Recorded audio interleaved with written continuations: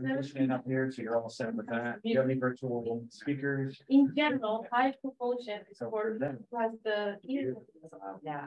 I mean, we have the ear, but we don't want the connection, we don't have. Okay, cool. Alrighty. Not even like. You're welcome. Have the connection, you know. Very more people checking than last, I guess. There are still, I, I hope, so there's a little promotion. They don't have to connect, there's no, they don't hear, I mean, They just- like, they don't understand if they are in the wrong. I'm in that group. I'm in. You're all person, I'm telling you, those people are really very nice.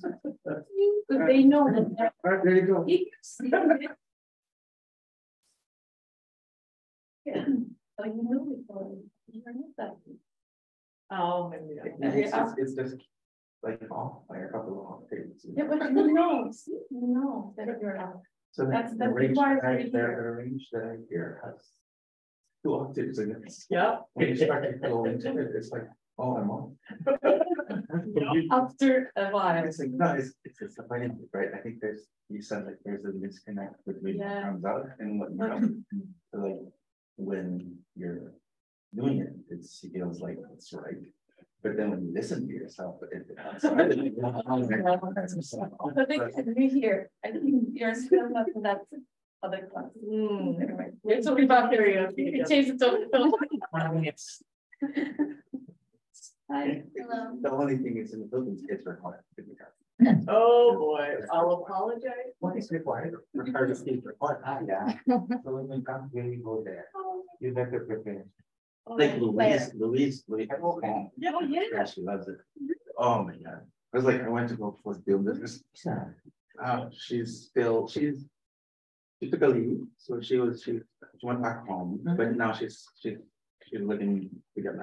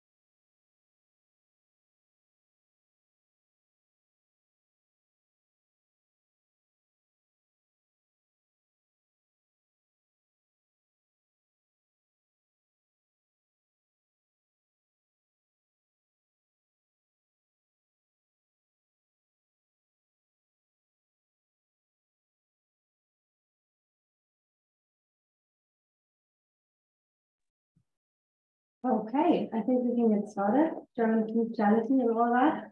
Um, hi to everybody who's participating here in live today. and Hello also to everybody who's joining us virtually. I hope you can all hear me well. Um, and with this, uh, welcome to our assignment on One Health, neglected tropical diseases, wash and wash in schools. So just to give you a bit of an overview about what we're going to be discussing today, um, we're going to receive an opening statement by Dr. Daniel Eibach, who's joining us virtually. Um, Dr. Eibach is a clinician or was a clinician at the Institute of Tropical Medicine in Tübingen in Germany.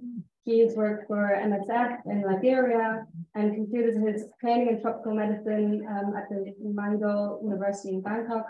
He specialized in microbiology, virology, and infectious epidemiology, and was a fellow in the European Program for Public Health Microbiology in New York. He has also worked um, at the Bernhard Nocht Institute for Tropical Medicine in Hamburg, and um, for seven years, and headed the research group for bacterial genomics and AMR. Since 2020, he is a senior policy officer for One Health, AMR, and NTDs at the German Federal Ministry for Economic Cooperation and Development. Um, next, I will be giving a brief introduction to One Health, and I'll introduce myself a little bit more in detail afterwards. And then afterwards, we'll um, look at a short video of an example of WASH in schools in Zambia, um, after which we'll proceed to an input on NTDs and WASH in schools from Dr. Belisario, uh, Dr. Belisario is a professor and former dean of the College of Public Health, University of the Philippines in Manila, and he is an adjunct, a professor of global health at the University of Pittsburgh School of Medicine, and he currently serves as a member of the scientific working group Research Capacity Strengthening with UNICEF, UNDP, World Bank, and WHO Special Program for Research and Training in Tropical Diseases. He is a physician specialized in, in tropical medicine and public health, and amongst many other posts, he's also served as Undersecretary of the Department of Health of the Republic of the Philippines. His academic work includes research on control and prevention of neglected tropical diseases, malaria, tuberculosis, health systems, and research capacity and strengthening. After this, we'll have another short video um, from an example of Fit for School implementation now. And then we will have an input on gaps and challenges by Chrissy Chaffee, uh, who is an associate professor of engineering at Fort Lewis College and a WASH consultant. She's been working on WASH monitoring and validation since 2009 with a strong focus on WASH in schools and has worked with the WHO UNICEF, UNICEF joint monitoring program since 2006. Um, after that, we'll proceed to a panel discussion where we'll also be joined by Michael Emilio, uh, who is a WASH specialist based in New York and supports UNICEF's sanitation and hygiene programs WASH in schools, and menstrual health and hygiene. He's been WASH focal point, the WASH team's focal point for the linkages with nutrition team at UNICEF headquarters. He started his career as a medical doctor and public health practitioner. He has extensive background knowledge in development work and emergency preparedness and response with the UN, NGOs, government, and academia. All right, so let's get into it. Um, I will try to share the screen. Voila, I hope you can. There we go. Dr. Eibach, the floor is yours. Thank you, Nadia. Can you hear me well? Yes, fantastic. Thank you. Okay, perfect. Yeah, uh, dear colleagues, uh, good morning, good afternoon, good evening, wherever you are. Uh, it's my pleasure to welcome you to this side event uh, convened by the GIZ on behalf of the German Federal Ministry for Economic Cooperation and Development, in short, um, BMZ. Um, I think this conference provides really a great opportunity to share insights and exchange lessons learned about this vital interconnection between WASH and neglected tropical diseases, and of course the role of One Health. I think we should use this opportunity to connect policymakers and practitioners, researchers across all these sectors uh, to discuss on more effective um, measures to improve um, public health. Um, our ministry, the BMZ, um, strives to strengthen health systems uh, and reduce disease burden through international development cooperation. And amongst different health topics, we consider it highly important to shine a spotlight on these 20 very diverse diseases that are uh, classified as NTDs by the WHO, as this, these diseases predominantly affect the poorest of the poor, and they affect impoverished and marginalized communities. And this is why our work on NTDs is centered on our understanding to use holistic and intersectoral approaches. We strongly encourage efforts for better collaboration between environmental, environment, animal health, and human health sector. This is what we call One Health. And this One Health approach is also an integral part of, this, of the WHO Roadmap 2030 to end the neglect um, of NTDs. Um, in my opinion, concerning the international health architecture, um, we are moving into the right direction already. There's closer collaboration of the quadripartite organizations, namely Food and Agriculture Organization, the United Nations Environmental Program, the World Health Organization, and the um, World Organization for Animal Health, as well as the um, establishment of the One Health high-level expert panel. I think those, those are great steps leading to better international and intersectoral collaboration in this field. Um, concerning the German Development Cooperation, um, we have a long history of engagement in multilateral and bilateral NTD programs. Um, we have supported, for example, the WHO Special Program for Research and Training in Tropical Diseases, uh, TDR, for more than half a century now, since the early 70s. And we are currently also supporting the um, WHO-led expanded special programs for elimination of NTDs, ESPEN. And yeah, other examples are um, regional projects on NTDs in Central Africa, where we adopt a One Health approach right now. And we have um, local level capacity building um, projects uh, like the um, hospital partnership program, which improves um, more the diagnostic and, and treatment um, sectors. And we have a couple of intersectoral rabies control projects um, in Cambodia, in Cameroon, and uh, in, in, Namibia as well. Um, one thing all those projects have in common uh, is the multitude of stakeholders from civil society, academia, and as well the private sector. Um, to demonstrate the commitment of the German government to the, for the fight against NTDs, um, we were uh, the first donor country who signed up the Kigali Declaration on NTDs earlier this year. So where's the link now between um, WASH and NTDs? Um, the BMZ considers WASH as an elementary prerequisite for health and sees WASH as an integral component of this One Health approach. Um, safe and adequate wash plays a key role in preventing NTDs. Many of them are caused by inadequate wash provisions. So we need access to clean water. We need sufficient sanitation facilities. We need possibilities to wash our hands. Um, this is vital uh, to combat NTDs. And this is also reflected in our One Health strategy, which was launched in 2021, which um, in which uh, WASH is uh, one of the focus activities. I think on the positive side, the importance of WASH um, has gained a lot of visibility during the COVID-19 pandemic recently. But on the other hand, on the downside, the focus on COVID-19 has unfortunately led to further neglect of diseases such as NTDs, uh, with these um, being largely left out of COVID-19 interventions. Um, the BMZ commitment extends equally to water and wastewater sector. We are currently funding more than 360 projects in the water sector. And our work in this field spans a broad portfolio. We support projects uh, on the protection of water resources and aquatic ecosystems, as well as, as well as development of infrastructure and services for clean water. And um, I think during this event today, we want to showcase more practical examples of the implementation of a One Health approach, specifically uh, you will hear more about um, our WASH activities carried out in school settings. And the BMZ supported uh, the implementation of these activities um, through regional fit for school programs, that's how we call it. And they run since 2011. and here, this interdisciplinary and intersectoral approaches are put in practice um, with implementing evidence-based and uh, scalable interventions in the education sector.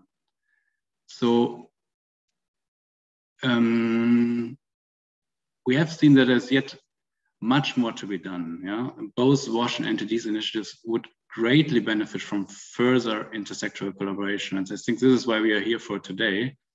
Um, we highly appreciate this interdisciplinary learning, learning and exchange opportunities uh, like this conference, and I hope that this event serves to demonstrate the benefit of the One Health approach and to inspire more interdisciplinary collaboration uh, to tackle disease risks in more preventive and holistic manner.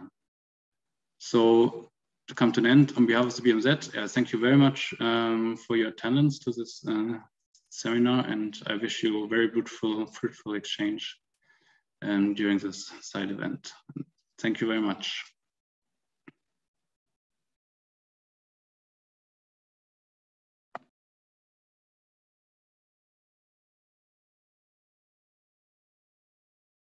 Well, thank you very much, Dr. Eibach. We really appreciate your attendance today and the opening words.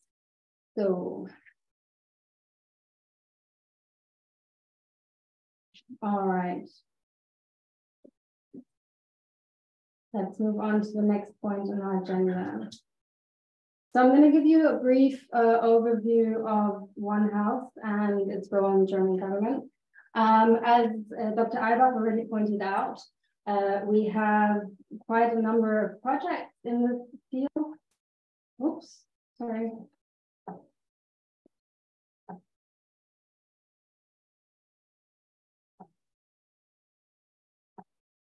There we go. Uh, we have quite a number of projects running in this field. We have supported um, projects that have One Health relevance since 2016 with over 700 million euros.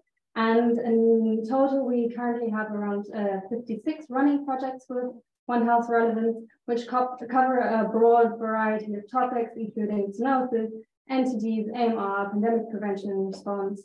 And uh, they look at uh, aspects of collaboration, improved capacity building measures, and coordination between sectors, and better communication around these uh, issues. Um, as you can see on the map uh, on the left, they're located in quite a broad variety of countries, mainly focusing on, on Africa so far. Um, the topics that are in focus in these projects also are of a broad variety. They include looking at climate change and biodiversity loss, um, at food systems, food safety and animal husbandry, and so on. So as I said, as I mentioned earlier, I was going to introduce myself a little bit as well. My name is Mette Winstermann. I work for the Sector Initiative on One Health. And this is not really the priority topic of this side event, but just for your information, we provide BMZ policy and technical advice on One Health. Um, we facilitate and support building networks and working with multilateral organizations and support implementing uh, knowledge management measures and new innovations. If you have any questions about our work, please feel free to come back to me after the session.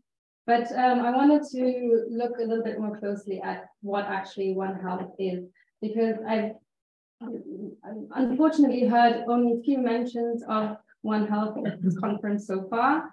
Um, and I do think people have sort of heard about the concept and the approach, but not necessarily um, dealt with what it actually constitutes. So as Dr. Eibach mentioned, there was a um, one Health high level expert panel that was uh, put in place last year.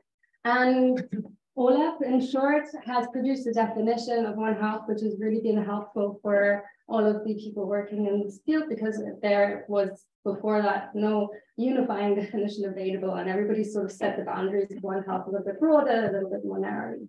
Um, so OHHLEP considers One Health as a unifying and integrating uh, integrated approach, which recognizes the health of humans, domestic, wild animals, plants, and the wider environment are closely linked. The approach mobilizes multiple sectors, disciplines, and communities, and works towards fostering well-being and tackling threats to health and uh, ecosystems. So really also includes looking at um, water, energy and air, safe and nutritious food, taking action on climate change, and contributing to sustainable development. So OHHLEP also produced this pretty great infographic, which I really like because it highlights the need for incorporating social dimensions and research and academia um, into the four C's, where they can then uh, work together with inter intersectoral collaboration between disciplines in the environmental, human, and animal fields, and work towards improving communication, collaboration, coordination, and capacity building all of this together leads into what we consider the One Health approach and, um, and our implementation of it. So this was not always the case. There previously was quite a bias towards public health and animal health interconnections, and the focus on the environmental dimension was always sort of technically appreciated, but in the implementation was really lacking. Um, traditionally, the focus has been on looking at food sa safety, control of zoonotic diseases, and AMR. But uh, this is changing. So it's really a positive development.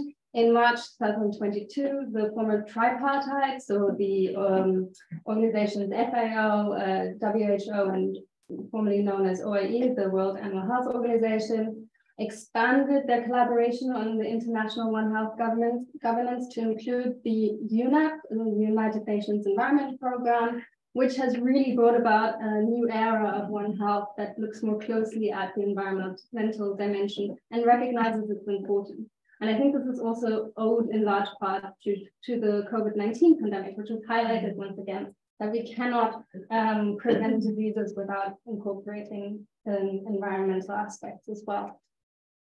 So last week, I believe, at the World Health Summit in Berlin, um, at one of the events that we actually hosted, the quadripartite published its joint plan of action for 2022 to 2026. And um, this is really a great document, and I encourage you all to look at it because it has an incredible, uh, incredibly detailed um, plan towards implementing One Health from the international governance side. Importantly, it also includes the action track six, focused on integrating the environment into One Health. And why, and here it also notes that it's expanded its focus areas a little bit from the previous narrow definitions, looking at food safety, AMR, and zoonosis, now looking at uh, zoonotic diseases with epidemic and pandemic potential, endemic infectious diseases of uh, zoonotic and vector-borne origin, food and water safety hazards, AMR, and environment. So why is this relevant for the session here today? Um, the JPA has a focus on water and several aspects of it, amongst which um, in the chapter on the health of the environment, water quite, quite often mentioned quite often and highlighted quite often, looking at how water and soil pollution um, cause significant adverse health outcomes, looking also at AMR and its connection to environment and water, and then looking at um, unsafe water providing and sanitation. It also is located under the point on food and water safety hazards, looking at water and foodborne disease outbreaks, and noting also importantly that this is relevant not only for human health, but also for animal health. So really, again, tying that into this other aspect of One Health. Um, and of course, looking at the contamination of water, which it highlights is sometimes due to poor cross-sectoral management of waste. And um, on a bit of a negative note, it ends the chapter with pointing out that uh, the problems in, in this field are exacerbated by a poor One Health integration into wash management efforts. So I think that this is really a call for better and stronger cross, cross sectoral and intersectoral collaboration in this field. Um, and I think that today's event and the conference as such is a good starting point for this these kind of efforts. And uh, there's certainly room for further collaboration, and I would hope that this is something that we work towards in the future.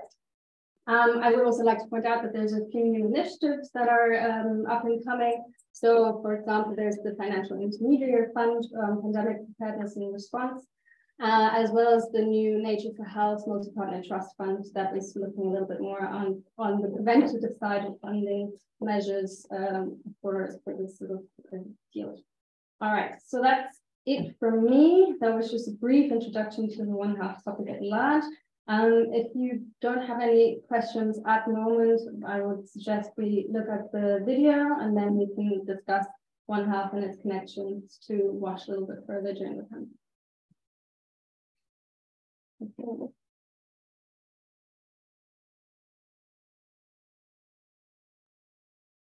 it's easier said than done. Here we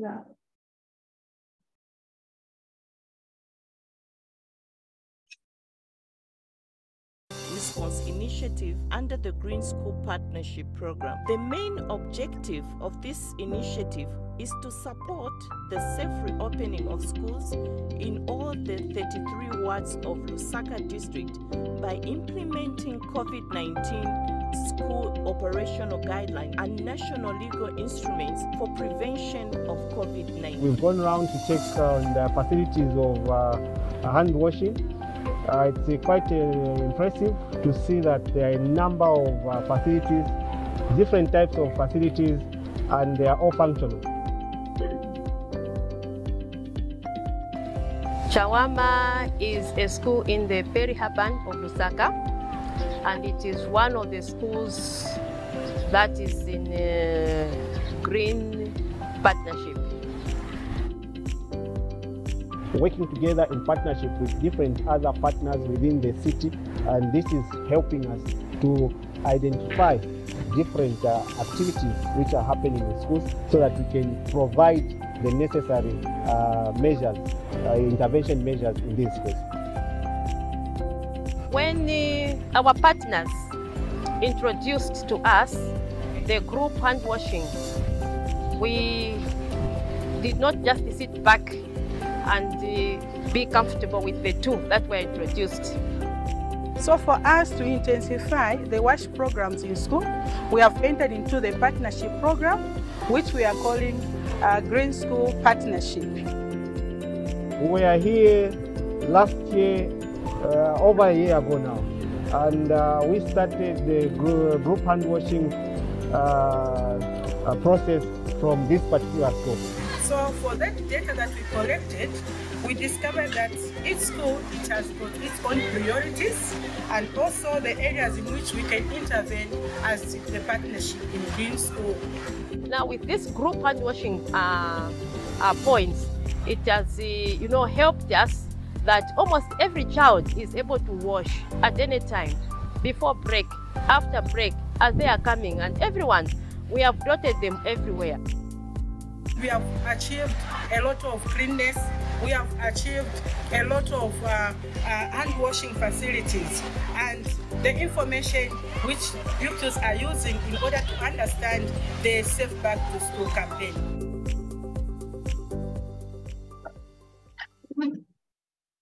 All right, so I really like this because it um, it shows that you can incorporate aspects of sustainability into WASH activities and there would sort of also include the environmental sector um, in our activity.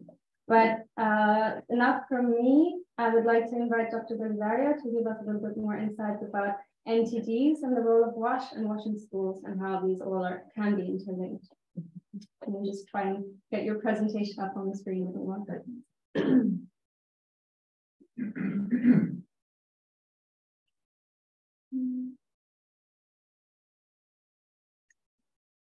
Yeah, okay.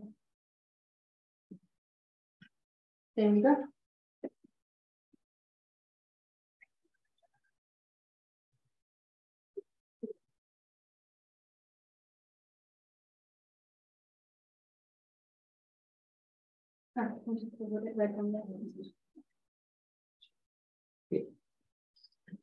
Good morning to everyone and um, special thanks to GIZ and the organizers of the Water and Health Conference. It's my first time to attend this uh, great conference, uh, uh, meeting of the minds and the hearts, I think, no, of different sectors.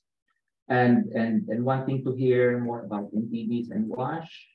wash in schools, and the possibility of the entry of One Health no, in the schools through WINS that is already existing.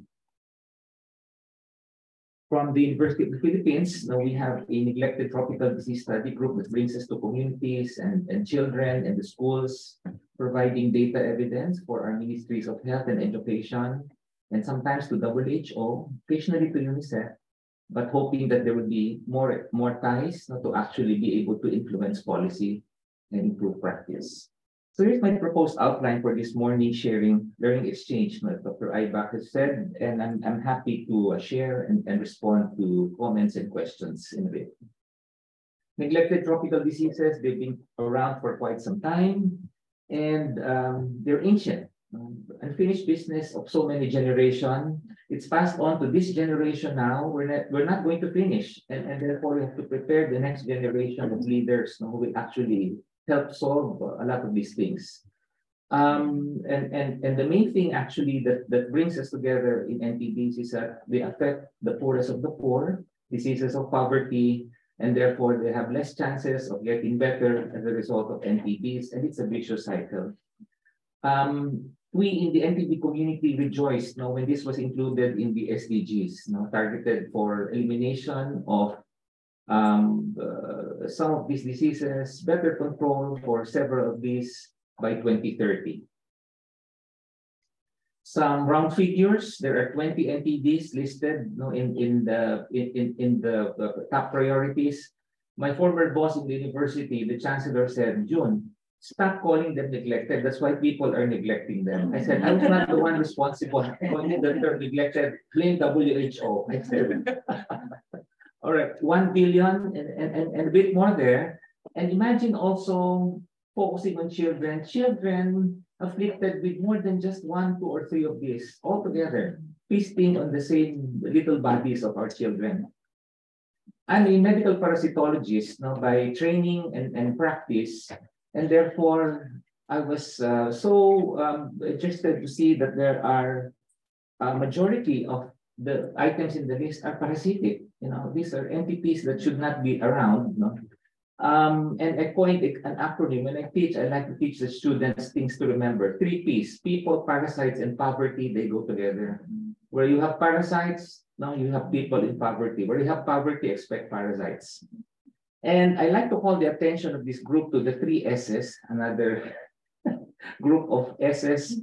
You have the big one, soil transmitted helminth infections, which I will use later on to demonstrate you know, the possibility of more effective NTD control in the school setting. Um, schistosomiasis, unfortunately, this was not uh, included in, in WASH in schools by FIT, you know, because it's not nationwide. But when you look at uh, hard-hit areas in Mindanao, southern Philippines, infection rates are so high.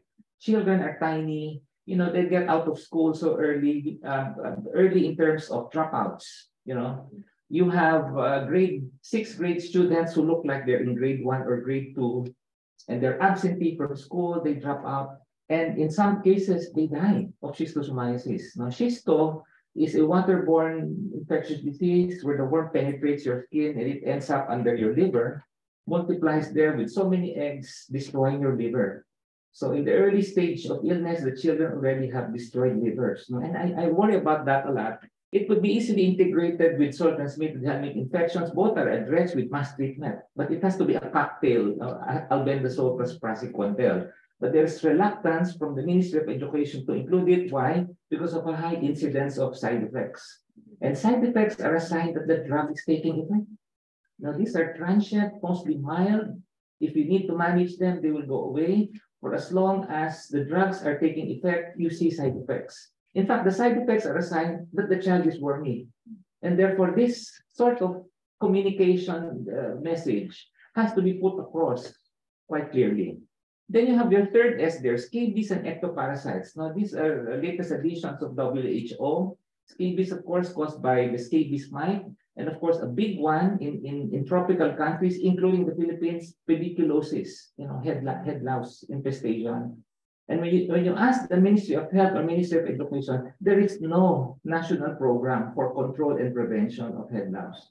So what do the mothers do? they pick on the on the heads of the children one by one, they will never finish. I always tell them good luck because the the ectoparasites multiply faster than the velocity of the picking out of the of, of those things. All right.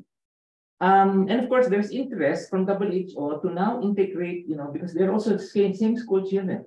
Even my own child, when she was in third grade, know, in private school, she went home with head louse infestation. My wife, who didn't understand head louse so much, said, oh, that's a disease of the poor. I said, no, you know, the, even those in private schools get it. And who, who, who were actually the sources of the head louse? The classmate and the nanny of that classmate coming from the province. So it's really, you know, it, it, it can have so, so big numbers when it actually there's new technology, it's ivermectin. No, ivermectin together with the anti-worm drugs. So three S's could be easily wiped out, you know, controlled, not, not eradicated, but more effectively so that the children can concentrate better when they listen to the teacher. Rather than your heads are so itchy, you're always scratching, your tummy is aching, you have to be sent home, you know, or, or you feel sick, you're so weak you cannot go to school. All right, so the big one. The biggest I say because most widely distributed geographically, and of course, it's most popular because it's most common. No, roundworms, whipworms, hookworms. Very recently, WHO added strongyloidiasis, my, you know, this is threadworm infection. And, and mainly because of one of the advocates in the STH advisory committee saying strongyloides, strongyloides. It's also soil, soil transmitted.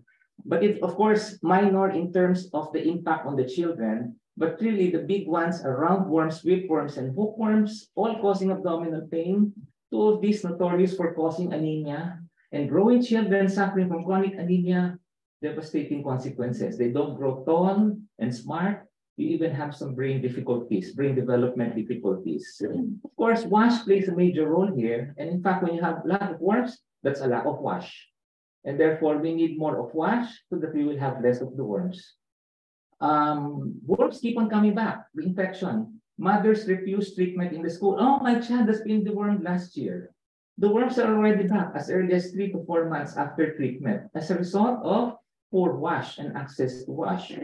High risk groups, you have those children there, preschool and school age children. That's the reason why Fit for School is a nice model. Bring worm control in the schools, worm control and prevention. We're not faring so nicely with preschoolers. In the Philippines, only 30% of preschoolers attend daycare. So you have to run after the children in the communities, which is so difficult for health workers to do. So we need some innovation along that line, all right? Uh, and of course, women of childbearing age, among the neglected of this of, of, of this uh, list of high-risk people, the women of childbearing age, especially the pregnant women, the warmly pregnant women actually give rise to low birth weight infants. And pediatricians don't like low birth infants. When you have low birth weight, you have lots and lots of morbidities associated with it. And very neglected are the high-risk occupations. I'll tell you a secret, in the Philippines, very high prevalence of worms among soldiers. Mm -hmm. No? And you know, I was so shocked, Mike, when we did our surveys in the military camps, the number one worm was hookworm. Hookworm is a blood sucker. Imagine blood suckers sucking blood from the soldiers. How can they defend you and me? if the soldiers cannot defend themselves from the worms, and they're feeling weak and feeling sleepy as a result of the anemia caused by the worms. So neglect, this neglected disease, neglected high-risk groups, and so the neglect happens so many times. Okay, open defecation, of course, just a quick, quick note. The biggest of them all, uh, the most common worm in Southeast Asia is Ascaris. And you know, those eggs are so, so sturdy, they can last in the soil up to two years. Can you imagine? It's even it's even longer lasting than the than the chicken eggs. No, there is hard boiled egg outside. You know, the Ascaris eggs can survive for two years in the soil. So imagine open defecation happening there with children passing out so many worms. I will quantify the eggs in a short while and I, I, I will tickle your imagination, these eggs are lasting up to two years. So you can imagine how clean an environment a child is, is in when there is so much open defecation happening there. Okay, the, the remote control, I think, oh, okay, so they, they may have shifted because they put it here happening. Yeah. Okay, all right. Is there a way I can point on the screen? You know, I'm using the cursor, you mean? yes, please. Um, I don't know. I think it's easier because I have. I know, yeah. Yeah. Um, I don't think so. I don't think you can be in this, if the way that we have it set up, it also be the, you know. pointer. Sorry about that. Thank you very much. Okay, so it's not a case of a wormy remote control, huh? Yeah. All right, let's- The question was- Okay, the so question coming out at Thank you, sir. Thank you, thank you. Resulting morbidity is nasty. Of course, of course, this can all be prevented with, with master administration brought into the classroom, teacher assisted and all. And of course, there are, there are some gross complications that we don't like, no? And, and the complications come as a result of chill children not getting treated. There is still refusal for deworming, huh? even in areas like the Philippines, where Fit for School has existed for the last ten years. So many reasons why children um, have mothers refusing for them to take the drugs. And, and when they refuse to take the drugs, then the worms can cause complications. We got, we got called in Mike one day by the Children's Hospital. Ah, a severe abdominal pain in a 16-year-old girl, high school student, right upper quadrant pain. Lo and behold, there was an ascaris worm stuck in the gallbladder. So that worm likes to wander around. It likes to go in and out of holes there in the small intestine. Sometimes it ends up uh, going out below or go coming out there above. Sometimes it goes out through the nostril. You know, nasty, nasty worm. It likes to wander. We call that uh, uh, uh, uh, erratic migration. Um, wanderlust is what we call. It's what my teacher called it. All right, wanderlust. All right, and it ends up in the gallbladder. That's a result of that child not getting treated in school when, when the surgery is not needed, when you have actually done a good job work control. And of course, uh, we, we all know malnutrition, poor school performance, and poor cognitive development, very unacceptable for the growing, growing child, and other states of poor health, and therefore we don't like the worst. But the solution, a package of wash. and it cannot be just deworming alone. Deworming and deworming alone, we will never finish. No? Until the end of the world, you're doing deworming you have to be doing WASH. And of course, it's a nice acronym because it's easy to remember. Water, sanitation, hygiene, deworming. We were taught in med school, you do stool exam before treatment. That is no longer the case. We do preventive chemotherapy, mass drug administration, bring the drugs to the school, bring the drugs to the daycare. It's quite different to run after children in the communities. The use of anthelmintics, either alone or in combination, for morbidity control. You avoid complications. You avoid malnutrition. You avoid poor cognitive development and poor learning and other poor states of health. You do mass administration. Get rid of the worms as fast as you can. And that is achieved via mass drug administration. Um, latest is that, you know, we're moving towards the possibility of combining the drugs. There is a worm called whipworm that is a blood sucker that requires, that, that, that might require now two drugs as a combination or cocktail because ordinary albendazole mebendazole doesn't do wiping out of the worms quite easily. So the, the, the, trend now, and I saw the latest WHO guidelines, we're now, they're now exploring albendazole plus ivermectin on a mass scale. Early and regular mass drug administration reduces occurrence, extent, severity and long-term consequences of morbidity. And to a certain extent, it contributes to minimizing transmission to the, to the environment. Okay, so this is the world map showing you the hot spots where, where preventive chemotherapy is still needed. We, we didn't do quite well, uh, not reaching the 2020 targets. Um, I, I think even with, even without COVID-19, we would not have met those targets. But, but with COVID-19, it even pushed us down. And take a look at this, the performance is such that only something like less than 60% of children preschool and school age are, are, are getting regular treatment. And look at the number of countries. Now, it's a so low 21 out of the target 75 countries doing the regular stuff. And of course, the regularity has even been affected by COVID-19. So, so many unmet targets in the, in the countries, and this is the performance across the different regions. Notice the, the, the, the reductions uh, in, in 2020, 2021. Uh, school children are, are, have a bit of an advantage over the over the preschoolers because uh, for school children, it's, it's already now school-based. And as I said, there are challenges in the preschoolers. But we hope we can we can get some some more innovation happening among preschoolers so that when they get to first grade, they're already winning over the worms. Versus they're losing they're losing uh, against the worms when they're preschool. When they get to the first grade, they're they're still wormy. But you know the the the havoc has been uh, done in the preschool uh, period. Um, downward trend, and and I, I I call now for some catch up mechanisms because COVID has pushed us further down. We need to get the countries to think about catch up. Catch up. No, did you play snakes and ladders when you were little children? Yes. Okay, so we were already somewhere there and we were bitten by the snake and down we go. A long, long ladder. We need to catch up no? and roll the dice some more so that we can go up more quickly and reach the target. Okay, Philippines. I showed you regions of the world. Let's go Philippines now.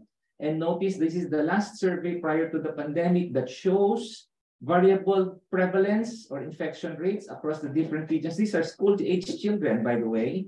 And you have still relatively high moderate to heavy intensities. We don't like moderate to heavy intensities of infection. These are children having too many eggs, sometimes too numerous to count. More eggs means more worms. More worms means greater morbidity, greater abdominal pain, greater malnutrition, poorer school performance. And so we don't like moderate heavy intensities of infection. According to WHO, all these should be less than 2%. If take a look at this, pretty high, 29 and 3%. It's, it should be overall less than 2%. Only four regions, Mike, are, are winning the war against the worms. So many regions are not winning the war against the worms. Majority of the regions still with moderate to high prevalence not meeting the WHO targets. All right, but the wonders of mass drug administration, I'm not talking about WASH yet, huh? just mass drug administration, not so much of WASH, high coverage rate, at least 75 to 85% coverage rate, a prevalence of close to 80% goes down to less than 20%, that's the WHO target, with moderate to heavy intensity infections close to the target of less than 1 to 2%. The wonders of mass drug administration. But how come the worms never go away completely? Because of reinfection. And thus, the war on worms cannot stand alone as a war against the worms. There has to be WASH. And therefore, we coined the acronym WOW, WOW, WASH. No? War on worms, but you need to do WASH to actually get rid of the worms more completely. WOW, WOW, WASH um, WASH sector come in. All right. When you bring in WASH, and we were called in uh, post Typhoon Haiyan.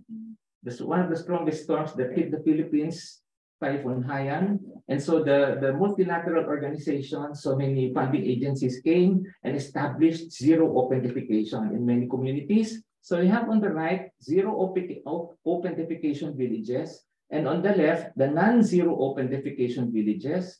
Worm prevalence, this would be heavy intensity infection. Heavy intensity infection is something like 1 million eggs per day being passed out in the feces of the children. 1 million eggs per day times 365 days. That's 365 million eggs that last up to two years in the soil from just one child that is not treated.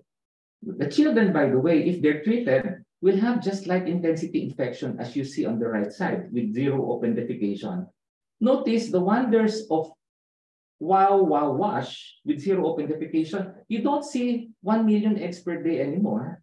And you have here just the infections, light, light intensities of infection. These are relatively new infections. The heavy intensity infections are old infections, and you have these children still ingesting the eggs or larvae still penetrating their bare foot. No, so the wonders of combining now the war on worms with high coverage rates and, and zero open defecation, showing you diminished morbidity considerably. And take a look at this, the stunting rates are also considerably lower.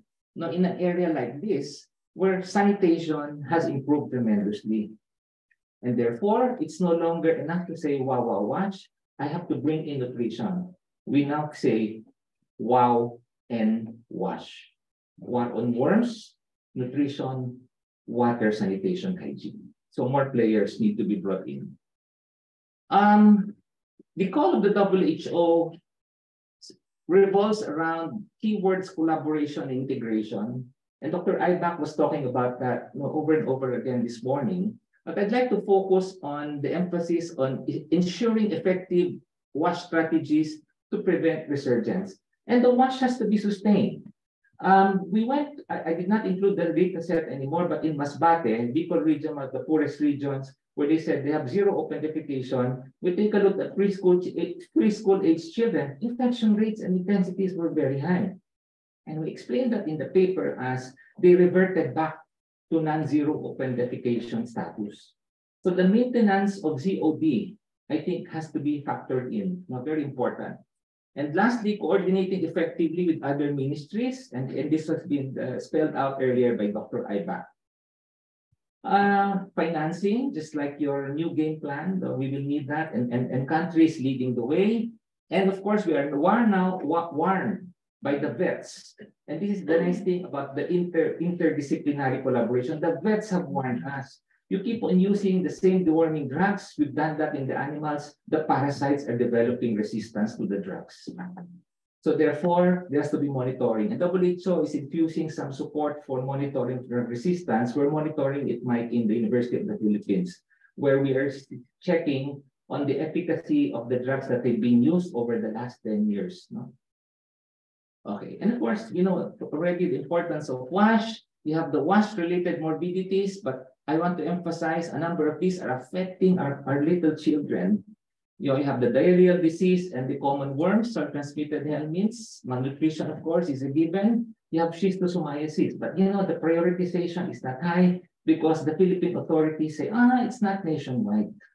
So I don't want to wait for it to become nationwide before we give some attention. It cuts down, it shortens the lifespan of the kids. No? And it actually gets them out of school early, not dropping out from school early. I think it has to be combined with morbidity control for soil transmitted helminths. Of course, Philippines is hotspot for dengue. We can actually bring all these programs prevented and promoted in the school setting. And in the Philippines, there's the WASH in schools. A nice, nice platform. Uh, Dr. Ibach said uh, this has received about uh, 10 years worth of support. Wash in schools. I like the acronym because it's winning it win, winning the war on women, winning against malnutrition, winning the war against the worms, etc. Implemented since 2016, the five key elements, I think so relevant for this uh, conference and monitored through the three-star approach. I think UNICEF has uh, supported that uh, for quite some time as well. Um, and of course, the possibility now of bringing in One Health you know, in the school setting through what has been established as wins. And I will I, and I will propose poss a possible way forward in that regard. Thanks, Nadja, for updating the definitions. No, and I think we will promote the new definition no, to our, our uh, partners and stakeholders. We were asked by the GIZ to revisit the wins no, early this year. And we saw wins as part of the school, but the school is part of the community. In the community, there is community wash led by the health sector. But in the school sector, you have the you have the school sector leading the wins. Although the school is within the community, when you look at data sets and monitoring and all, they do it separately. And I'll show you the evidence in a short while. Remember also that aside from WASH in the communities, there are disease control programs happening in the community, being implemented in the community. Occasionally, some of the programs are able to penetrate the school, like in WINS, you have the worming inside, so there's worm control. All right, we're, calling the attention that the WASH in schools should contribute to overall WASH in the community that should over eh, that overall should contribute to disease control and ultimately result in improved health and learning outcomes. So what I'm proposing is what not WASH for WASH sake, but we want to bring WASH to show results in the area of disease control and hopefully to show results in the area of improved health and learning outcomes. Similar to that 10-year monitoring, we're using morbidity control. No? Or the, I think the better example was the WOW and WASH, where zero open defecation has shown just almost no moderate to heavy intensity infection and low, low, low prevalence of light intensity infection. And why is this? School-based health interventions, such as those delivered by the WINS program, may contribute to community WASH because the school is part of the community. And other health programs, because the school is part of the community. Using the One Health lens now, know, like a microscope, use One Health. which considers how human health is interlinked with animal and environmental health, Eco ecology, as Najas mentioned earlier. The WINS program know, can be revisited to identify strengths, challenges, opportunities, possible links with community WASH and disease control programs, with the results now being able to provide evidence for enhancement of policy and practice, service delivery, leading to enhanced disease control that should be seen as, you know, reductions in, in, in, in terms of rate and all, oral health even, improved nutrition, ultimately contributing to improved health and learning outcomes. So just a glimpse of the report that we submitted to GICEP. We were trying to bridge WINS with community WASH, disease control, and health outcomes. Integrating WINS with the health sector because there is a certain disconnect. No, the WINS is doing its job quite nicely in the school, but the, the health sector does not notice it so much. So in terms of what are you contributing to the bigger whole? And through the One Health approach. And of course, special thanks to our Ministry of Education, Ministry of Health, and the GICEP for allowing us to do this. So just a glimpse of some of the findings. Increasing percentage of schools with at least one star in most study sites, reflecting continuing improvements of access to WASH, WINS program implementation. I think it's a good job. We compared two regions, compared to regions close up view, Western Visayas having higher percentage of schools with at least one star compared to the Caraga region. So there are regions that are left behind. We need to provide support for such regions. WINS and community WASH programs target similar sets of health, health outcomes, but there is a lack of correlation. WINS and the WASH somewhat disconnected. We have to bring them closer to each other. There is a need for better inter interoperability of school and health databases, standardizing definition and harmonized data sets, joint policy implementation monitoring, probably similar to JMP. Will there be some something like this, a joint JMP also at the country level? uh, enabling regular assessment of WINS and community WASH programs and their effects on disease control. Okay. Increasing WINS ratings for sanitation services is correlated with decreasing incidence of the disease check. And we're proposing the as because the real disease, intestinal parasitosis, and environmental enteric dysfunction are among the underlying causes of malnutrition that are directly or indirectly linked to unclean water, inadequate sanitation, and poor hygiene practices we're proposing nutrition as an indicator in the Philippines in terms of health outcomes. Look, the Philippines data is not so favorable yet. Now, we're among the highest in the region. No, and we have to work on this. But of course, WINS and community WASH and disease control should all contribute to this. Uh, potential of integration of animal health strategies in the Philippines, we still have increasing numbers of dog bites and increasing rabies deaths, especially among school children. Although the numbers are low, the numbers are rising. So it doesn't speak about rabies elimination. You talk to the rabies elimination guys in the Ministry of Health. Oh, we're talking about the last mile. This is the longest mile, I said. No, we're not reaching the last mile. It's taking so long. You still have increasing numbers of dog bites and increasing numbers of rabies deaths. And you know, of course, rabies is 100% case fatality. Probably the school, since school children are at high risk, let's bring rabies elimination, prevention, and promotion in the schools. Uh, and then we utilize the existing formats, platforms. There's, there's already a lot of interagency collaboration. We don't want another One Health uh, platform, but let's utilize. Now, they're already existing in various levels. One Health riding on the, these existing platforms. Uh, as in all very good programs, sustainability is key. Financing in the Philippines, we capitalize on Universal Healthcare Act. Financing is a major part of it, where WASH, deworming, vaccination services could be part of population health services that actually government funds. Okay. And, and, and lastly, lastly, I hope you're not fed up with the worms. The NTDs, common worms, poor WASH, resulting in unacceptable morbidity in children, malnutrition, poor school performance, and poor states of health. We need more of WASH so that we will have less of NTDs.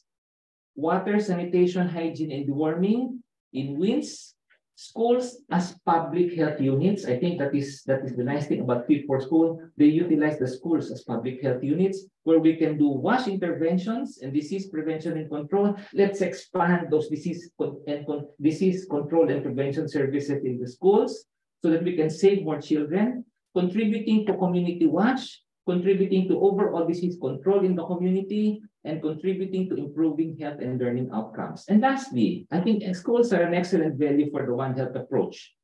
Children should be made to understand early enough the interaction of human, animal, environmental health, and ecology. I want to call it WINS Plus now. I don't want to erase WINS. We call it WINS Plus, a package of interventions, including provision of safe wash facilities and warming, those are given, promotion of good hygiene behaviors given, but let's add on some priority disease items there that are One Health related. Considering One Health areas of work and focus areas, I want to call it One Health Wins. Thank you very much for your attention.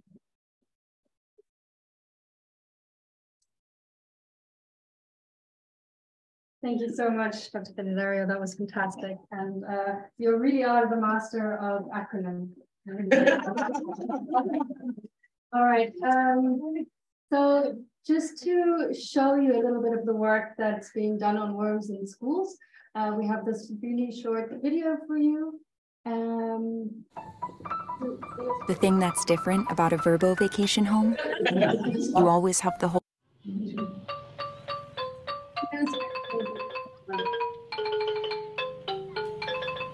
Infectious diseases, intestinal worms, malnutrition, tooth decay. These are the most prevalent diseases among public school students in Lao PDR. The Fit for School program aims to prevent these diseases by transforming schools into healthy learning environments and through simple and cost-effective interventions. Daily hand washing with soap, daily toothbrushing with fluoride, and biannual deworming.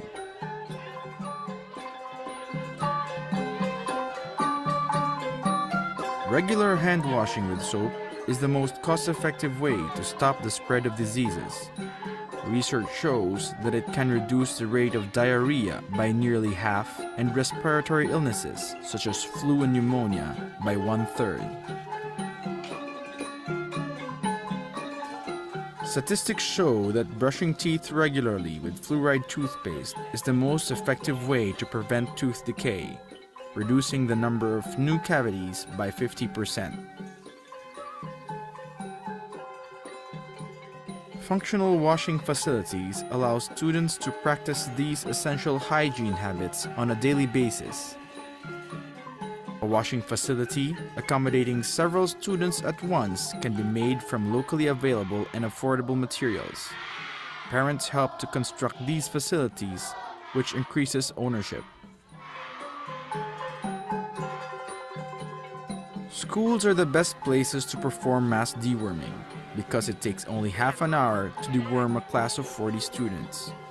Schools are also excellent venues to educate parents and teachers about the benefits of mass deworming. The Fit for School approach integrates the National Deworming Program as part of a school's core health package.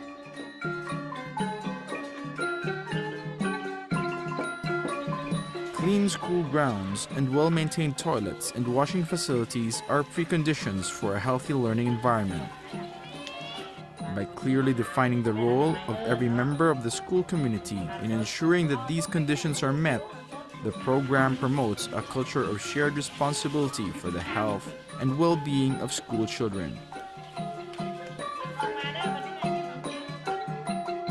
Teachers supervise the activities.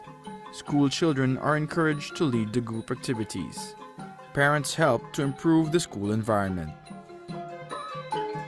สบายดี ข้าพเจ้าอะนะเป็นครูสอนประจำห้องโป .5 เนาะหลังจากเขาได้คำแนะนำจากอำนวยการเนาะว่าให้อะเกี่ยวกับการปฏิบัติล้างมือถูกแขวเขาก็พานักเรียนมาเฮ็ดเนาะเขาเฮ็ดแล้วก็มันแตกต่างเนาะกลัวแต่เก่าแต่เก่านักเรียนจะอันน่ะบ่สะอาดแล้วมาเข้าตัวนี้นี่ปื้มโซของเขาเขาไปจับปื้มจับโซเขาก็สะอาด แล้วหลังจากนั้นเขามักเวลาเข้าห้องน้ำหรือว่ากินอาหาร นักเรียนก็จะไปล้างมือถูกแขว อันนี้ในนามเขาเป็นในครูนี่เขาก็ซึกคู่เปิดภาคภูมิใจเนาะที่เห็นนักเรียนเราปฏิบัติแนวนั้น Scientific research in the Philippines using the same approach has resulted in 20% less malnutrition, 30% less absenteeism, 40% less tooth and mouth infections, and 50% less heavy worm infections compared to schools employing traditional health education. Research is currently being undertaken in Lao PDR, and it is expected to show similar improvements on children's health.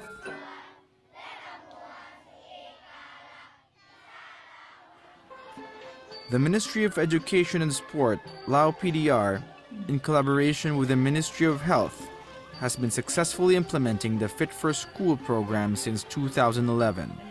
Experiences from model schools were consolidated to develop tools and guidelines that will support the program's expansion.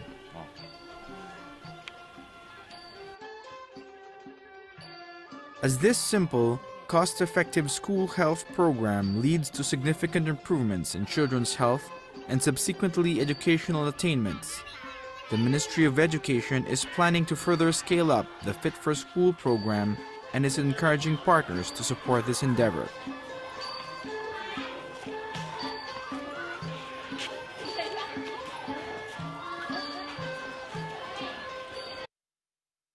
Okay, so now I think we head on to our next agenda point. Christy, thank you so much for agreeing to present a little bit on the persistent gaps and challenges here today. And we look forward to your.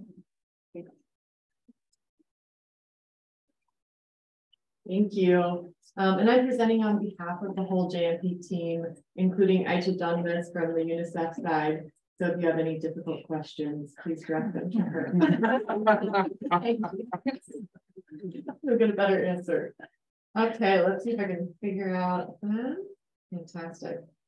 All right, um, just a quick reminder that WASH in Schools is in the SDGs very explicitly. Uh, and the indicator definitions you see on the screen for drinking water, there's water available, it's from an improved source. Uh, for sanitation, there are improved toilets, they're single sex and they're usable, they're available, they're functional, and they're private. And then maybe most of most relevance to NTDs, but I could argue all of these are, of course, would be hygiene. And for the SDGs, this indicator is that there's water and soap available at a hand washing facility at the school. So we recognize that these are necessary for controlling NTDs, but of course they're not sufficient. I really like the wow I'll wash, um, that this idea of having this is a precondition and a complement to other interventions.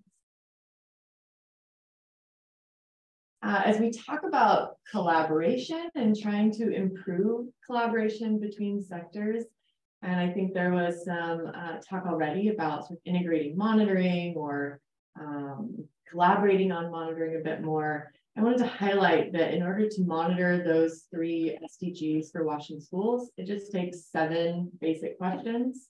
And the idea here is to try and keep it very simple, something that can be harmonized across countries.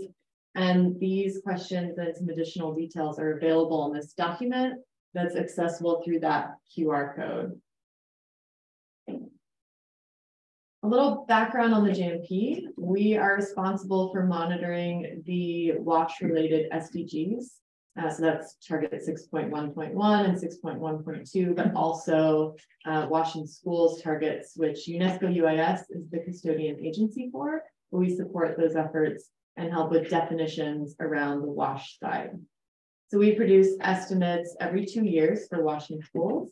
And we just released the latest data update this year. So we're very excited about that. You can access it through that QR code. There's also, I think, a few more hard copies out in the lobby. And for this, we had over a thousand data sets that went into our estimates. This is probably um, the main figure that folks are interested in. It's are we on track to meet the SDGs for WASH in schools? And we are not. Um, we need a 14 times improvement in the rate of progress for drinking water in schools, three times for sanitation, and five times for hygiene. And we're starting really low with hygiene, um, especially. So in 2021, we estimate that 58% of schools had just hand washing facility with water and soap available. So as we're talking about control of NTDs, um, that's particularly concerning. This graph just shows the different SDG regions and then coverage for water, sanitation, and hygiene. And I just kind of want to highlight, you know, see for some regions such as Australia, New Zealand, which is literally Australia and New Zealand, uh, it's hundred percent coverage. If you look at Europe and Northern America, we have every country over sixty percent. But then down at the bottom with sub-Saharan Africa and Northern Africa and Western Asia, you start to see a really wide range of coverage. And I imagine that, you know, as we go to the bottom left quadrant of this graph, this is also where we have a lot of focus on deworming programs and NTD issues. Uh, and thanks to Aicha for doing the complicated analysis behind this. Uh, but not only is water, sanitation, and hygiene on their own a necessary component of controlling NTDs, but of course we need all three of these together at a minimum. And when we analyze the proportion of schools that have all three elements, we see a pretty significant decrease. So maybe here I'll highlight Ecuador. 77% uh, of schools had basic drinking water, 59% had basic sanitation, and 51% have basic hygiene. But when we look at all three of them together, that drops to 22% of schools. So less than a quarter of these schools have these very basic necessary elements to controlling NTDs. Um, so not only are those you know, necessary but not sufficient, uh, but we recognize that the definitions for basic WASH in schools don't include all of the human rights to water and sanitation. So there's additional things that might be monitored at the national level. We call these advanced services and encourage countries to add additional things um, that could include additional indicators that have more relevance to NTD prevention. So I wanted to kind of throw a question out to the audience to think about, you know, what should we be prioritizing as a WASH sector that could help us um, further the NTG agenda? And I'll kind of give some examples of some of those in graphs here in a little bit. Uh, but I wanted to highlight really quick that there's some suggested expanded questions in that document that I provided the QR code for earlier that support some of these advanced monitoring indicators. So kind of running through these as examples of what countries are already monitoring that might have a lot of significance for NTG control. NTD control is um, here's from the three star approach. So very cool to see that earlier. Um, you can see if we look at the location of hand washing facilities, in places that would encourage hand washing at key moments. So before eating and after using the toilet, uh, we see an increase in coverage of facilities and schools in the Philippines for primary and secondary schools at both the toilet and the canteens. Uh, in Sudan, they have collected data on uh, hygiene promotion and health messaging and so you can see that a lot of schools include health method messages uh, during morning assemblies. And over half include health messages as part of their core curriculum. And then 16% have a special lesson exclusively on hygiene, so really trying to drive home particular messages. And then there's 11% that do global hand washing day activities. So just an example of how we might be able to monitor and track progress in getting these messages out to school children. As an example from Gabon, just last year, they included an assessment of um, environmental cleaning materials that were available in schools. And you know, on the very far right there, you can see that 16% of schools had no materials for keeping a clean and hygienic environment, which is concerning for NTDs. I think I Aicha presented this yesterday if you're in the WASH in Schools session, but I wanted to highlight it again today. Um, you know, if we talk about basic sanitation, that doesn't include toilet cleanliness. And so I really wanted to highlight this as a potential important indicator. And there are some countries that are already looking at how clean are the toilets in schools and what's the cleaning frequency. And then the last example here is looking at solid waste management um, and just kind of highlighting how schools are managing solid waste in different ways. And some of these may have impacts on NTDs as well. So um, as we talk about collaboration and trying to integrate and harmonize monitoring and work together to try and share data, I wanted to provide a QR code to this Excel document. It's basically all of the core and expanded questions plus um, some data analysis support that might be helpful if we're trying to harmonize and um, integrate monitoring indicators in each other's systems. And I particularly want to highlight there's a tab called PPR, Pandemic Preparedness and Response, that has a lot of the NTD relevant indicators. So maybe leaving you with more questions than answers. Um, I've kind of highlighted the first one already, but what else should we be trying to promote as a JMP when we're talking to national governments about um, additional indicators or advanced indicators that could push the NTG agenda, NTD, I don't know why I'm struggling with that. It's like STG, NTD, NTD agenda further. Um, and then also, you know, are there ways that we could align JMP indicators and NTD data sets to support national and global monitoring of winds? How can we sort of align data sets, share data? And that's where I chose the expert, so please chat with her. And then are there additional opportunities to use WASH data to actually inform um, deworming programming, for example? So let's work together. And that's all I have. Um, thank you so much for your time and thanks for the invitation. Fantastic. Thank you so much. And I would encourage you to just stay up here because we'll move into the panel discussion if you don't want to join us. We have 20 minutes left for some Q&A. Uh, I know we have around 50 participants online as well. But at the moment, I don't see any questions from our online participants, but if you are interested in communicating with the panelists, please do so using the Q&A function.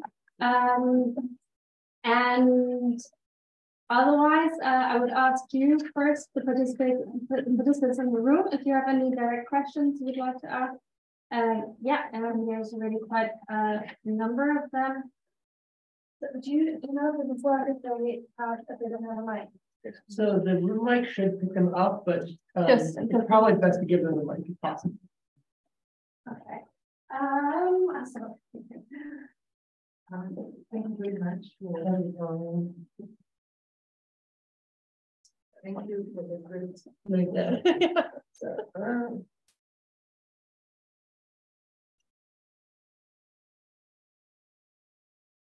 I be loud. Yeah, that room up there should be good. You can project. Yes, yeah, on you, uh, thank you for the great presentation, and it was very interesting, every part of it. Uh, my question goes to, uh, from where we sit, we are calling a lot in schools in the rural and urban to construct toilets. But uh, we want, usually we find this gap that we don't know where it fits in, because menstrual hygiene management ends after materials. So we find a lot of compromising in the disposal in the toilets that are already constructed. I still can't figure out where the disposal bit comes in because if you say solid waste, it still gets lost. But uh, I've been in rural schools where I can see girls struggle with maggots coming out of the toilets because of the compromising of the sanitary pads that are not biodegradable in the toilets. So I think that should be prioritized in all the three points on where it, where it fits in and the three-star approach to schools. Thank you. I'll collect a few questions. That's great. Thank you. Um, Yasmin Reyes from Stanford University. Thank you so much for your presentations. Um, I have a couple of questions. Uh, I'll try to be brief. So, uh, Dr. Belizario, I'm very happy to see we've moved on from just working on uh, drug administration and we're looking at the root causes. It's, it's really great to hear that. Um, in the vein of parasites developing drug resistance and also along the lines of the, the previous question, I'm wondering whether we're thinking about um, how can we get rid of the eggs um, that are lasting, you know, for, for two years, and again um, are living in the latrines and could potentially develop, move on to developing um, uh, drug resistance. Are there any treatments that we have thought of that could help us address that uh, cause of potential reinfection? And also um, to the colleagues from the JMP, uh, I had a couple of questions related to, you know, what is clean? Uh, what do we mean by that? You know, it's like, do we have clean toilets? That, you know, it's great, but what's clean to me may not be clean to someone else and, and vice versa. And also the frequency of, of uh, cleaning the bathroom, doesn't that depend on how many people use it? Because, you know, if we clean once a day, but we have lots of people using it, um, may not be enough and vice versa, if not many people are using it. Thank you. I think I'll collect one more question and then uh, we'll let you answer before we head on to the next question. Yeah, I have a question uh, also to you, um, but also to uh, Professor from, uh, from the Philippines. Um, so One Health means health of the humans, health of the animals, and health of the environment. I hear a lot of talking about the health of humans, and of course, worms causing infections, but are we talking about health of animals as well? And how do you keep your environment uh, in such a way that it is indeed uh, not affecting the health of the people adversely? So I was wondering, what is your experience on that? And also more maybe broader, from a broader perspective, what kind of interventions have you seen that are effective in this way of really, in this holistic way of programming? And uh, give over to the panel to start with the first question, and then we'll collect a few more. Oh, right. Sorry. Do you want us to just go into line? Yeah, go for it. Okay, um, to the MH disposal question, thank you for asking that. Uh, that gets overlooked so much. So there is an MH disposal question in the core questions document for the JMP. It's also in that Excel document. But it's really, we lack some validated questions around MH disposal. Um, there's a lot of work being done on that. So there's the Menstrual Health and Hygiene Global Monitoring Group. They recently put out a priority indicators document for um, suggesting what we should measure for girls' menstrual health and hygiene. And that has a little more detail on what maybe we could be measuring for MH disposal in schools. So I'd recommend that priority indicators for monitoring girls' menstrual health and hygiene document. Um, for the toilet cleanliness, what is clean and frequency, what does that mean? These are exactly why those are not included in the core definitions, despite a lot of pressure and knowing how important clean toilets are a lot of people said clean toilets has to be in the SDG definition. And we're like, yes, but we don't know how to monitor that in a harmonized way. Um, that being said, that core questions document and the Excel document does have some suggested definitions to include in surveys, um, but things can vary so much, it's hard to harmonize people's definition of clean, as you mentioned. Uh, I think those were the main ones that the JMP could answer, but Aicha, do you have anything to add on that? Okay, great, then I'm gonna pass it to Dr. Belizario. Thank you, Christy, and thanks for the two questions related to my presentation. The first one was on the eggs in the environment. And of course, when the eggs are passed on to the environment, this is the realm of environmental health. But of course, we uh, biomedical folks can also help in that regard. Of course, there will be chemicals that can inactivate those eggs. Unfortunately, we've been taught now since med school that there is no cost-effective means that, that, that, uh, that is recommended you know, to get rid of those eggs in the environment. The way to go, short of the uh, resources needed you know, for chemical chemical control, you know, that, that would be the term to be used, is to actually move towards zero open openification.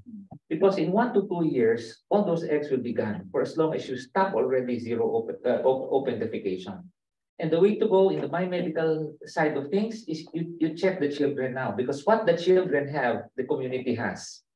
So when the children are close to worm free, maybe your ZOD is working. And maybe add one or two more years, there should be no more worms. Now when there is really complete zero openification. On the second, the concern on One Health and animals and the worms. Yes, this is the realm of the veterinary public health folks. In fact, they were the ones who called their attention on the possible emergence of drug-resistant parasites. And so we're monitoring, we're, we're behind them. They're, they're, they're teaching us. In the realm of parasites in animals, you're correct. For as long as we're not addressing the parasite in animals, those parasites are going to cross over to involve humans. I, I did not include in my presentation because of the limited time. There is more crossing over of dog and cat hookworm in tropical countries moving on to infect people. And how do they do this? They do molecular techniques. Uh, they realize that the species that are found in the people are now parasites coming from the animals. Um, there is a lack of data in that regard. These are small, small studies, no, small cohorts, and therefore it doesn't make a huge mark on the federal public health community that we need to do something about this. No? And the way to go really is to generate the data so that we can convince now the higher ups to give special attention now to the animals that are wormy so that the worms don't cross over to the people more easily.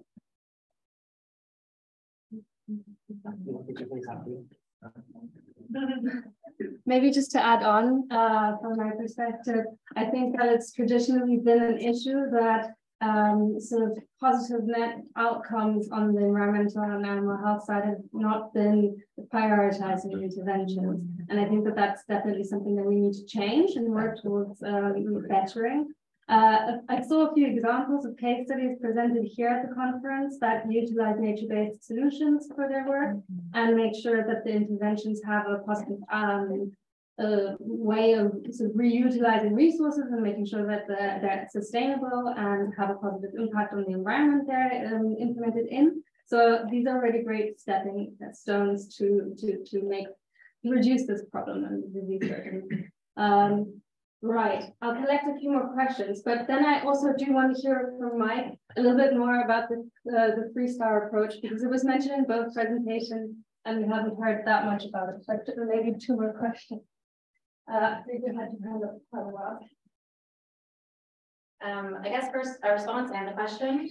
Um, so I work on One Health in Bangladesh and we look at chicken cooping. So that's one is like keeping chicken outside the house at night. So that helps the people and helps the chickens um, because they can be in separated compartments. So they're not like picking at each other, right? Things like that. Um, and also on pig tapeworm. And so um, uh, work in uh, Sichuan, China on pig tapeworm. So it's about vaccinating pigs essentially. So it's good for their health and people aren't getting infected with pig tapeworm. So I was wondering specifically about pig tapeworm. Um, and you know, it, it um, the problem is that the worm goes up to your brain, right? And so it's not influenced the same way um, by other um, deworming drugs and things like that. And so I don't know about the prevalence in the Philippines, but I know there is some pig consumption there. So I was wondering how that fits into your picture. Um, and then sort of, um, as my colleague here mentioned, sort of thinking about food hygiene in schools too. Uh, you know, that, that wasn't on the chart and a lot of schools are now serving school meals and things like that. And so how do we put that into um, the many acronyms for WASH in schools?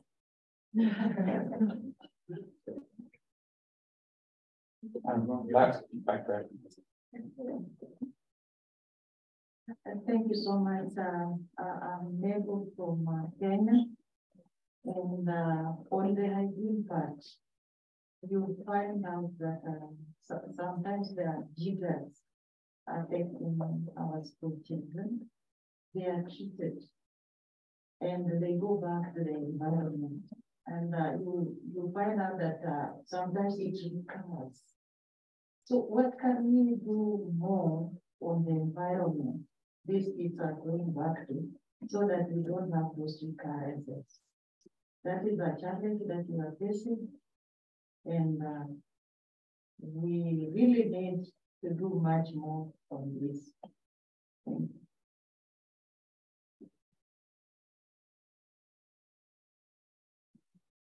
Hello, um, Rebecca Evans from Warwick Medical School. Uh, it's just a question uh, for the professor, please. Um, really about um, you mentioned that there's a lot of resistance to um, the children uh, receiving drugs, and, and, you've got these mass drug administration campaigns. Uh, my question is really about um, ethics and consent, and um, really the possibility of educating the families uh, in the schools. I think we saw something about it in Laos, but is the school a place to educate people, and do you have to obtain consent, and, and questions around whether you can mass um, uh, administer drugs and to what extent? Thank you. One last question and then open up. Your talks. so you mentioned uh, about sort of the concern about resistance to anti-helmintic drugs, um, and that we're going to be doing some monitoring in order to try to present, uh, prevent that. Um, do we think that monitoring is enough to deal with this problem? Um, I know antibiotic resistance can be very different in how antibiotic resistance presents, but um, if can, are there lessons that we can take from kind of the scourge of global antibiotic resistance and how we deal with preventing uh, resistance to the anti-worming drugs? Okay, these are quite a broad set of questions. We have very limited time left, uh, unfortunately. Um, but would anyone like to start? Professor Belizario. Okay, I almost got overwhelmed. There are five items to respond to. Let, let us try quickly. Number one, on the, the pig tapeworm was right, that's first, right? Pig tapeworm. You saw that it's, it's in the list of 20 items there, but you know, the, the, the things on that list actually fight it out with each other, which one will be first. And in fact, I, I invented again another acronym, no? NPDs. There is a subset there, I call them VNPD, very neglected. The government, the governments don't like to, to give attention. And pig tapeworm is one of them. Proof of the neglect is lack of data. But you know, we see it in, in, in, in the Philippines, people having seizures and cystic uh, uh, lesions in the brain on an MRI or CT scans. That's probably pig tapeworm. And you have pigs roaming around, just like you have roaming dogs, they have roaming pigs, communities, all exposed to the waste and all. And, and, and the pig tapeworm really lacks data. And in fact, proof of the neglect, even on the WHO side of things, it's only now that they're going to try a protocol to identify risk which communities will need to be first no, in terms of attention for pig tapeworm. So I think data is very important for pig, pig tapeworm. But there are tools not to actually diagnose and treat, but we can prevent it also, public health. Second, on environmental health, um, expertise, what are we doing in the area of, of environmental health? Unfortunately, I'm, I'm not an environmental health expert. I tap our environmental health colleagues in the other department but initially, now the basic thing is to validate first the figures. You saw in that in that slide, oh, the report is something like 90%, but the real thing is only 60%. So there has to be some, some validation of sorts of reported data. Sometimes you give you, you're given a false sense of security. We're okay, it's already 90%, but the truth of the matter is 60%. And, and, and of course, the intricacies of environmental health, I will leave to the environmental health folks. Uh, but certainly, we need to continue to discuss with them not to find the best means possible to deal with environmental health concerns. Food hygiene fits in nicely with WINS WASH in schools. Food hygiene, basics of you know what food to eat, how to eat. In Philippines, there is uh, eating of raw or half-cooked food, or food, or fish, or meat dipped in vinegar. When the meat becomes white, they think it's cooked, and there are parasites there. And sometimes the parasites are deadly, as in the fish parasites. So food hygiene fits so nicely in washing schools. Anti-parasite uh, drug resistance, yes, we monitor both field and lab. Uh, we also do a, a laboratory arm where we send specimens to Belgium, University of Ghent. There are experts there for looking for the genes that carry the resistance. But on the side, WHO proposes drug development. Unfortunately, it's not a uh, very lucrative because it's poor people wanting to get those drugs. So drug development, there, there needs to be some philanthropy there and drug combinations also to delay the development of drug resistance. MDA ethics, yes, the Ministry of Education actually gets consent from parents. If they don't have consent, children are not going to be dewormed. But it's unfortunate they miss out on the opportunity. Sometimes it's fake news that wins over, you know, the, the technology that you bring around. So health communications will be key to have a high consent rate but yes, we respect the, the, the decisions of parents in the area of ethics and consent. Over. Thank you so much. Uh, I would really like to do my one last time uh, to, to my. I thought you had a question for him, sorry. Sorry. Uh, yeah, I, I, we have you sitting here on the panel because you bring so much experience with you about the collaboration between UNICEF and uh, work on wash, wash in school and also the TSA approach. And I'm really curious about if you can give us a brief, brief, brief intro about what TSA is and how it can be combined with One Health and where you see potential for collaboration in the future. Thank, thank, thank you. Um, so when I was asked to actually speak up here, I was like, I don't think I'm in the position to be able to kind of sit in this in this space. Um, as as I've been listening to to, to the presentations, but also with my discussions with you, Naja.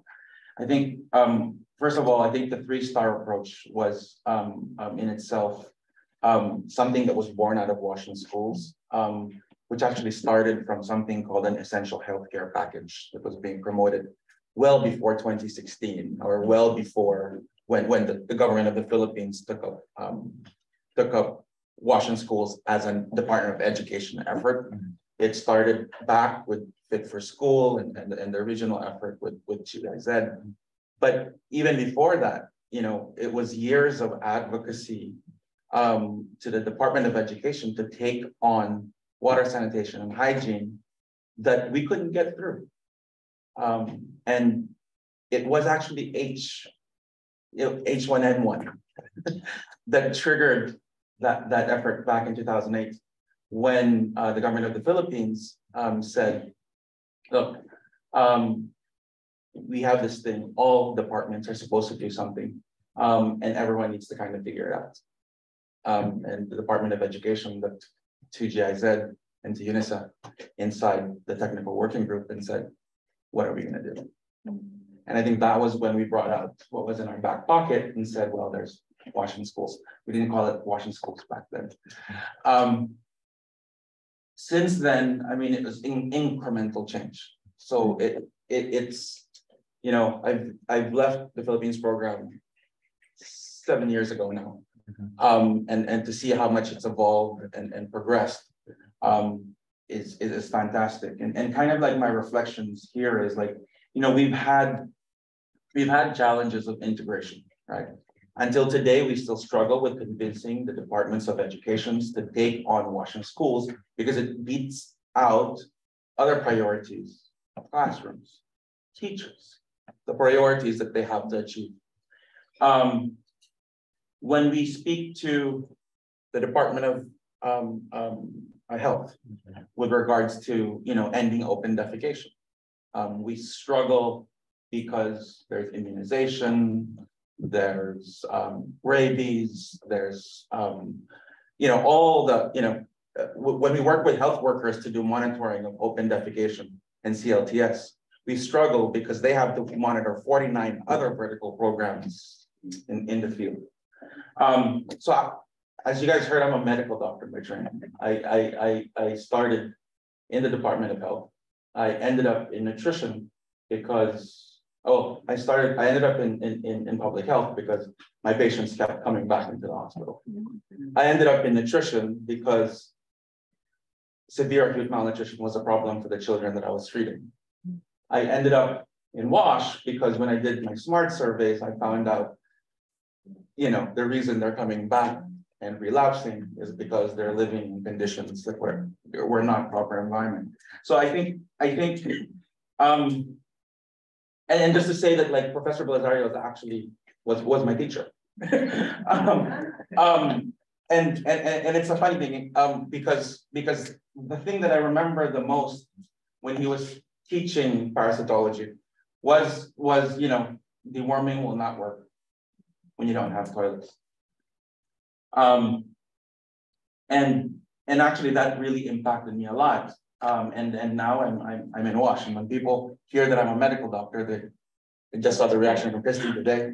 I know for like eight years. You're so, so, so, and I think my other reflection here is um, with regards to like Washington nutrition. Um, I'm, I'm glad to see Matt in the back because he's like super important with regards to um, the evidence around WASH in schools but also because he's, he's been an important factor in, in promoting it and, and, and why it's the scale today. But he's also took a very important role when three trials came out a few years back with regards to kind of convening a sector um, um, with regards to how we see the results of the WASH benefits trials and and and and and, and shine. Um, and and you know, we as UNICEF got impacted a lot by that result. Mm-hmm. Um, in the sense that we didn't know how to move forward. Um, there was a there was a document that we co-released with WHO, um, and you know, what the conclusion we were saying was like, you know, it, it, it echoes what Dr. Belizario was saying, you know? But you called it maintenance, we call it sustainability. You can, you can, you can, you can, you can have ending open defecation, but if you don't keep it that way, or if you don't make sure safe containment happens or safely managed across the chain, then you're throwing those worms back out into, in, in, in, into the environment. Um, but what I, what I'm also reflecting now is, is how important, you know, it's one, to not forget to link yourselves to the outcomes, the nutrition outcomes, the health outcomes. Um, and oftentimes when we create WASH policy, we forget to do that. Um, and, and, and finally, I guess the thing that I, I, I, you know, it's complex, right? It's complex to work together because each sector has its own accountabilities and, and, and, you know, and I'm not only talking about the development world, when you trying to get multi-agency coordination within the government, you know, who's supposed to lead? Is it supposed to be the National Economic Development Authority? Who's it supposed to be? Um, but I think we've heard throughout the conference, you know, systems change. In your presentation, you've talked about financing and all the things to kind of get it to happen. We've talked about it in our game plan. And I think it's important, but we also need to be realistic with regards we'll achieve within a short period of time. Um, it, it requires collaborative behaviors and that takes time and incremental change takes time. So, I mean, it, it, and, and, and, and for us to be able to kind of achieve this, it should happen, but it, I mean, thank you to, to, to One Health, to kind of just giving us a reminder of how important it is to actually collaborate. Um, and it's not gonna be easy, but um, yeah. Hopefully this could be a start of something that's more, uh, I'll stop there. Thank you so much. And um, I apologize for running a little bit late and keeping you from your coffee. But I think this ends uh, the chat on a really positive note. Um, what's worth doing is sometimes difficult, but I'm sure we're uh, in a position to do so in a collaborative manner. Thank you all for attending and have a good break. And